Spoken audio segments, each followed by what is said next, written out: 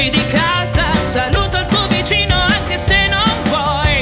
Altri 904 passi avanti, la giornata può andare bene se farai tutte quelle cose che tengono al sicuro, che tengono al sicuro chi sei.